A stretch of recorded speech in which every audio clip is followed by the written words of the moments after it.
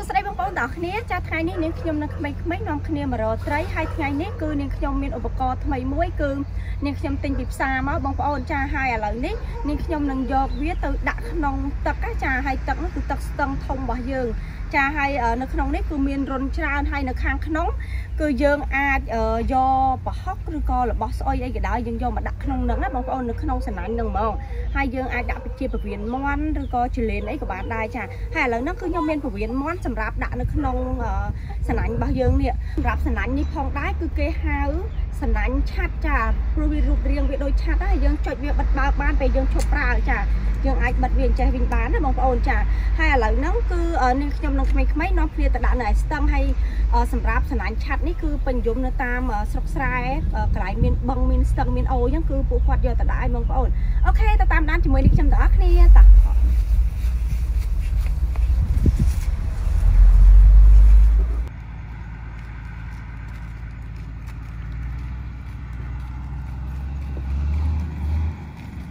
ចាបងប្អូនឥ ឡូវនេះយើងចិត្តមកដល់ទីតាំងហើយឥឡូវនេះយើងគួយអាគូតក្រោមវានេះចាហើយនុយយើងចាប់ផ្ដើមរៀបដាក់នុយក្នុងនឹងហ្មងណាអត់ចេះបើបើអត់ចេះតែនិយាយរឿងគាត់ឲ្យគាត់ចេះបាទឥឡូវយើងគួចគូតនេះជាប់ហើយហើយយើងដាក់នុយចូលក្នុងនឹងចាក់អស់ហើយគាត់លូកដៃចាក់យកទាំងខាង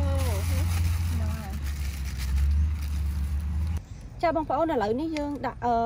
ពវៀនមាន់ឲ្យត្រូវកដាលចេះហ៎ចាឥឡូវយើងយកទៅដាក់ក្នុងទឹកតោះមិនខ្មេងកាន់បាទចូលខ្ញុំខ្ញុំត្រូវរត់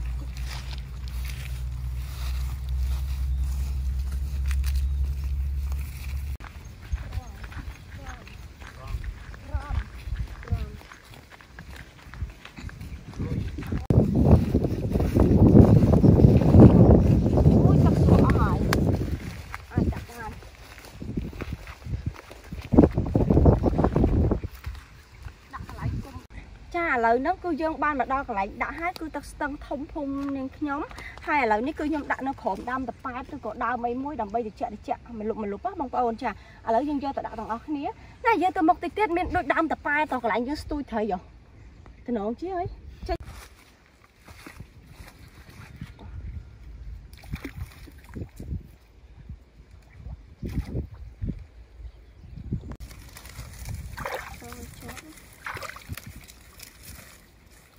លហូរទៀតហូរតាមទឹកទៅបាត់ឡើយ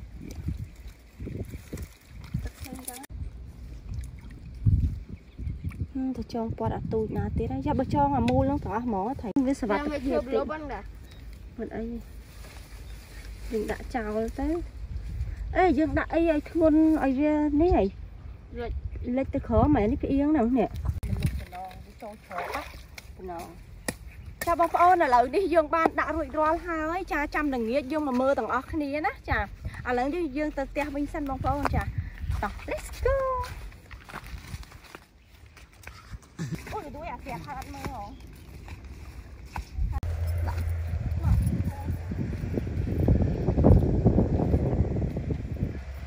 ចាអ្នកទាំងអស់គ្នាឥឡូវនេះគឺនាងខ្ញុំដើរមកកាត់កន្លែងនេះហើយមើលទៅកន្លែងហ្នឹងទំនងមែនតើចាហើយបើយើងយកមកដាក់កន្លែងហ្នឹងអឺ រៀងតិចឲ្យមិនលុបកៃឡូយើងមានត្រីមានកំពឹសយកទៅធ្វើម្ហូបញ៉ាំឥឡូវហ្នឹងគឺខ្ញុំដូរពីកន្លែងនោះយកមកដាក់កន្លែងនេះវិញមកបង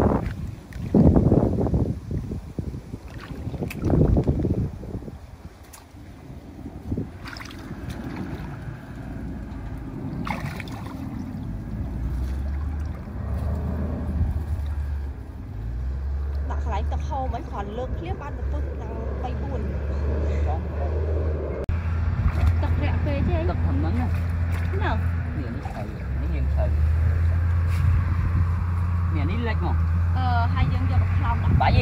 អើអីកត់មកបាច់ចងយ៉ាងបាទយកកផ្លោងនឹងដាក់មកហើយហើយហូរទៅបាត់ហើយ មានហូរទៅណាអត់ហូរទេ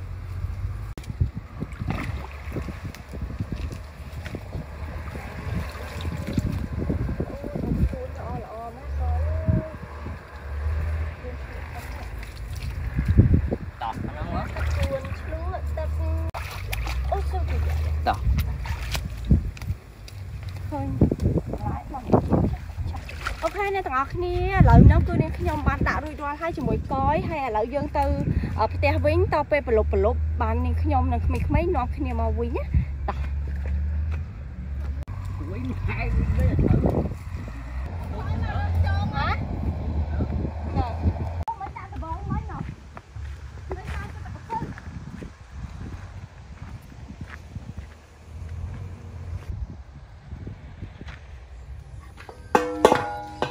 ចាបងប្អូ នខែនេះគឺខែធ្លាក់ខ្យល់ហើយឥឡូវហ្នឹងគឺមេឃរៀងត្រជាក់ហើយអឺយើងធ្លាក់ខ្យល់អញ្ចឹងចង់ផ្ដាសាយអញ្ចឹងគឺនេះខ្ញុំដាំទឹកមុជចាឥឡូវនេះប្រកាត់ភ្លើងហើយហើយចាំដាក់ទឹកមកដាក់ឲ្យក្តៅមកខ្ញុំយកទៅអឺដាក់ទឹកទឹកត្រជាក់ក្តៅអ៊ុនអ៊ុនមកយើងងូតបាន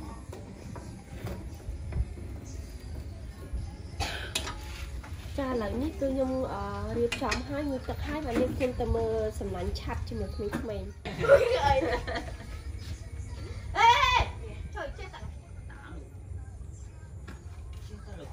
សួស្តីបងប្អូនទាំងអស់គ្នាចាឥឡូវនេះគឺល្ងាចហើយនាងខ្ញុំទៅមើលសំណាញ់ឆាត់របស់យើងទៅបានត្រីឬក៏មិនបានតោះទៅជាមួយនាងខ្ញុំទាំងអស់គ្នា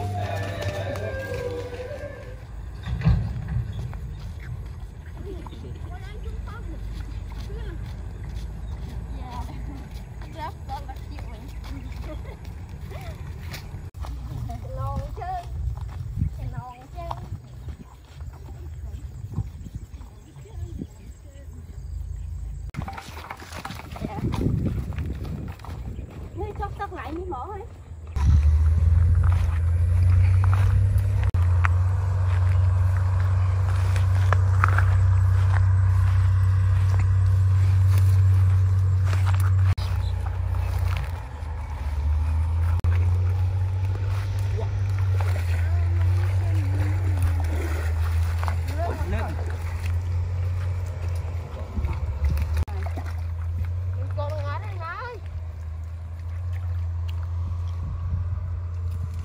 ហើយចាស់ហើយណានេះចាំមកកាន់នេះបានអត់អូបានមែនមកមកមកវ៉ាវអូយសត្វតត្រីកពឹសដាញ់ប្រាញ់អូកូនកពឹសហ៎អូកពឹស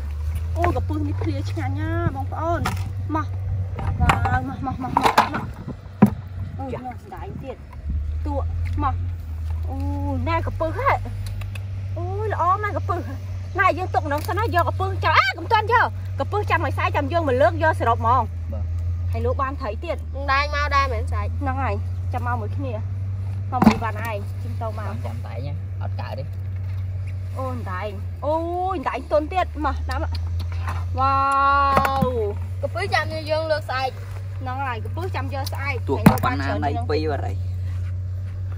អូយកពឹសល្អល្អដល់ហើយបងប្អូននេះ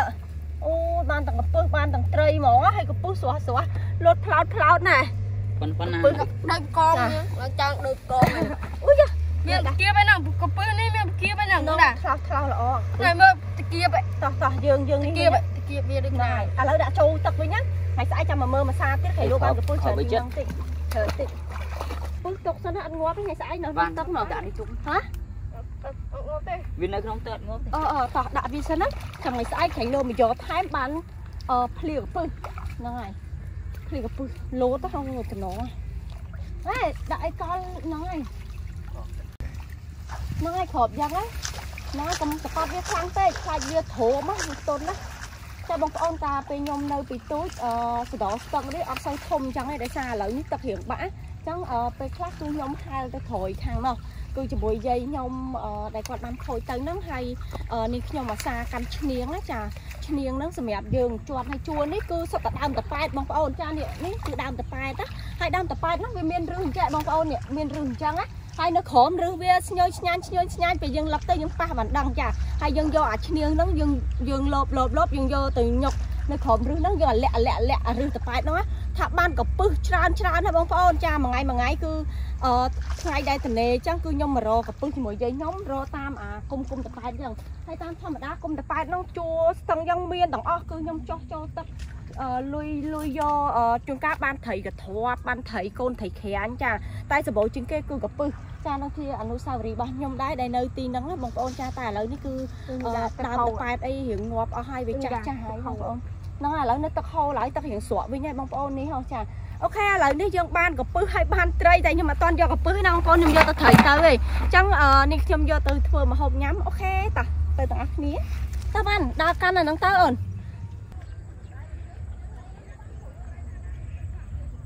ចាបងប្អូននៅទីនេះគឺពីមុនគឺសត្វតាព្រៃព្រៃអឺដើរមកគឺយាអៀតហ្មងណាចាហើយឥឡូវនេះអឺប្រហែលជាបាំងមួយខែនេះគឺមានអឺបងប្អូនអ្នកអឺមានអញ្ចឹងគាត់មកទិញដីនៅវាលនេះទាំងអស់ដោយសារដីនៅទីនេះនៅជាប់មាត់ស្ទឹងអញ្ចឹងអឺនេះខ្ញុំអឺឮថាប្រហែលជាពួកគាត់នឹងធ្វើបរិយចាអញ្ចឹងអឺទៅមុខទីទៀតនេះខ្ញុំនឹងបានមិនដឹងថាបានអឺមកធ្វើវីដេអូចាប់ត្រីចាប់អីនៅនេះបានទៀតទេបងប្អូនដោយសារនៅទីនេះ តិចទៀតទៅគឺឈូសឆាយលុបដីអស់ហើយចានៅអឺខាងនេះគ្នាខ្ញុំគឺគេលុបទាំងអស់ហ្មងចាតិចទៀតគឺគេលុបមកដល់នឹងដែរឥឡូវផ្លូវដែលខ្ញុំជិះមកនោះគឺគេលុបចាក់ធ្វើផ្លូវបដាបដាឲ្យបងប្អូនតោះទៅទៅយីហូតទៅសួស្តី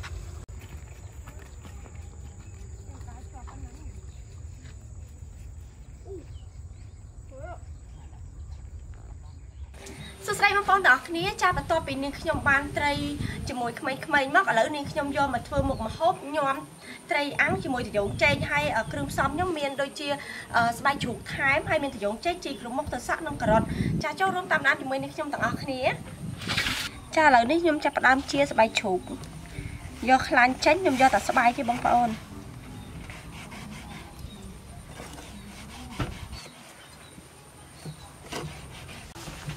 នៅលាងលាងขาជ្រូកសិនញ៉ាចាសម្រាប់សម្រាប់ខ្លាញ់នេះគឺយើងអាចយកទៅចំហៀវយកខ្លាញ់បានឲ្យកយទិញឲ្យមីងញោមជាមួយត្រីអាំងផ្ទះឡើងឡើងខ្ញុំលក់អូមកដុំមកអូកាត់យើងញ៉ាំទៅមិនទៅមួ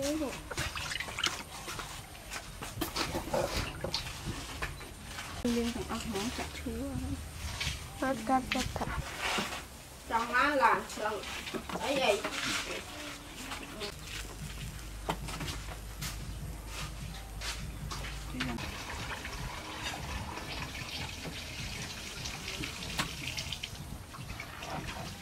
កាត់មកពេកទៅចាចាក់មក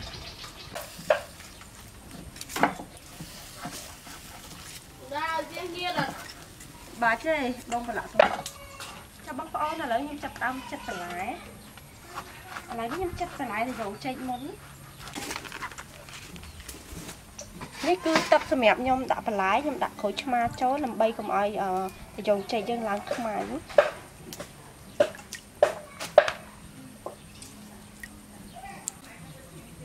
ភាសាថៃអូនខ្លាចវាឆាប់ខ្លោចទេត្រីមានតែការឆាប់ខ្លោច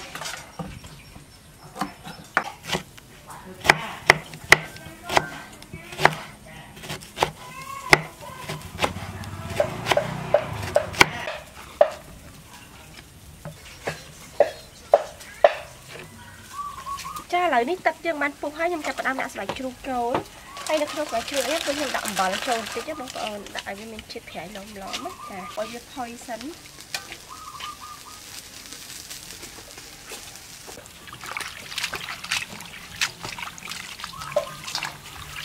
ឥឡូវខ្ញុំចាប់ផ្ដើមចិតការ៉ុត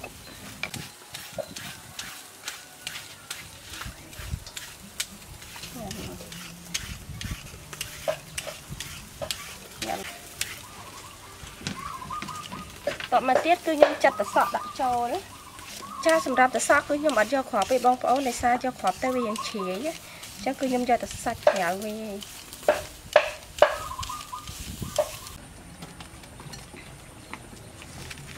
ថៃបាក់លេង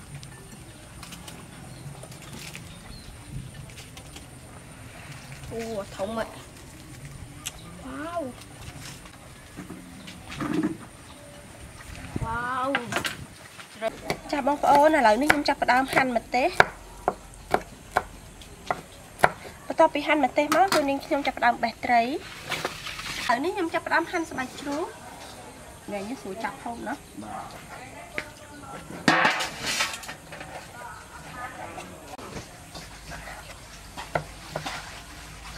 កុយដាន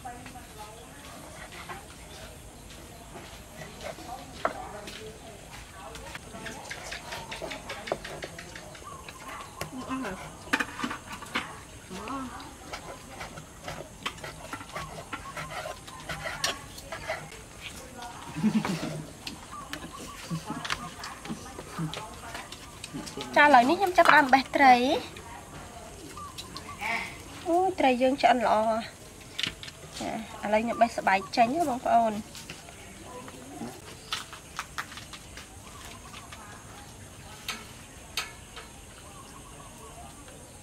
ខ្ញុំយកឆ្អឹងវាចេញណាត្រីដាក់ដុំដុំហ្មងបងប្អូនញ៉ាំទៅបានយើងបានសាច់ត្រីចូលមាត់ឆ្ងាញ់ហើយជាតិ ចាបងប្អូនឥឡូវនេះចាប់ផ្ដើមលាយគ្រឿងញ៉ាំចាឥឡូវខ្ញុំចាក់បន្លែយើងចូលកធុនចាបន្លែយើងមានជីគ្រប់ការ៉ុតមានអឺតសក់ហើយនឹងមានត្រយូងចេកចាបន្ទាប់មកទៀតគឺខ្ញុំដាក់ស្បែកជ្រូកចូលចាស្បែកជ្រូកបន្ទាប់មកគឺខ្ញុំដាក់អឺត្រីចូលចាស្បែកជ្រូកហើយត្រីគឺខ្ញុំដាក់ចូលគ្នាហើយនេះគឺម្ទេសហើយនឹងសណ្តែកដីចាឥឡូវខ្ញុំចាក់ចូលហ្មងបងប្អូនឥឡូវខ្ញុំដាក់ស្ករសចូល ខ្ញុំដាក់ប៊ីចេងចូលខ្ញុំដាក់អំបិលបន្តិចបងប្អូនហើយខ្ញុំប្រើម្សៅស៊ុបបន្តិចហើយខ្ញុំច្របាច់ក្រូចចូល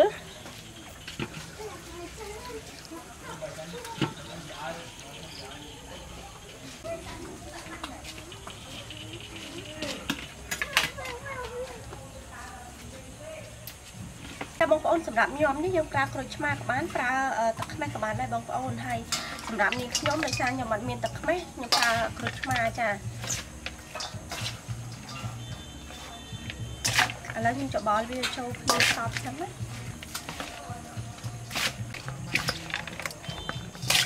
ដៃយើងនឹង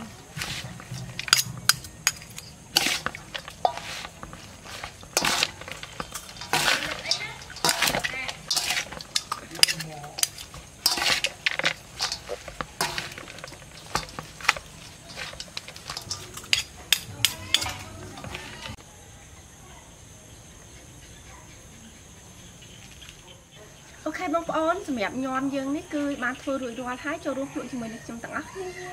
ចាឥឡូវនេះខ្ញុំចាប់ផ្ដើមដួសឲ្យក្មេងៗញ៉ាំដាក់ចានចិត្តតិចមកញ៉ាំស្បែកជ្រូកអត់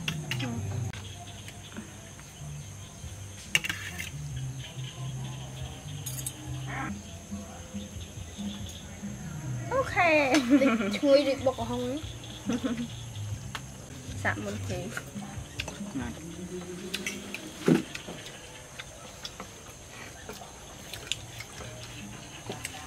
ចា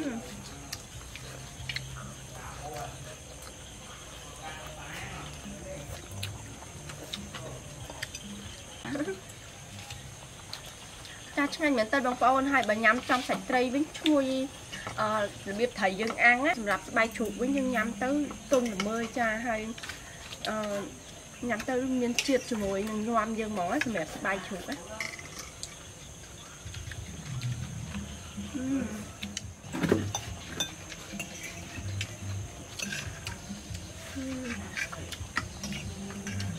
ឆ្ងាញ់មែន បងប្អូនអាចចាក់ធ្វើញ៉ាំបានចាយើងមានសាច់ត្រីយើងមានអឺស្បែកជ្រូកចាកងនេះគឺបន្លែដូចគ្នាប៉ុន្តែបងប្អូនខ្លះគាត់អាចដាក់ដូចជាគ្រឿងសមុទ្របានដូចជាបកាមឹកបកងចាហើយសម្រាប់ខ្ញុំខ្ញុំធ្វើលក្ខណៈសាមញ្ញហើយក៏ឆ្ងាញ់ដូចគ្នាអស់លុយតិចហើយយើងបានអឺ មកហូបឆ្ងាញ់ទៀតចាយើងមានអស្បែកជ្រូកហើយនឹងយើងមានត្រីចាបេះមកច្បល់ជាមួយគ្នាមកឆ្ងាញ់មែនតើថែមទេថែមមកបងយកឲ្យពើថ្ងៃណាហ្នឹងហឺឆ្ងាញ់ចាបងប្អូន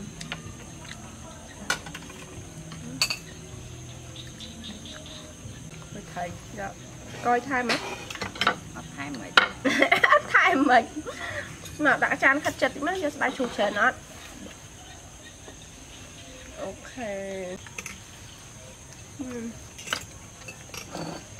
យ៉ាងខ្ញុំសុំថែមបន្តិចដែរបងប្អូនបងញ៉ាំញ៉ាំមកចាំមកញ៉ាំអត់សូវបានណាមកថាហើយអត់បងខ្លាចពេលបានថាមកថាសនេះបើបដៅគាត់ញ៉ាំគាត់ថាបំខ្ទេចពេលកយទូចឹងណាបងប្អូនតែញ៉ាំច្រើនណាស់ សម្រាប់បាយគាត់វិញគាត់ញ៉ាំមួយពេលគាត់ស្មើ3ពេលខ្ញុំបានញ៉ាំម្ទេសសុខភាពល្អអឺអើ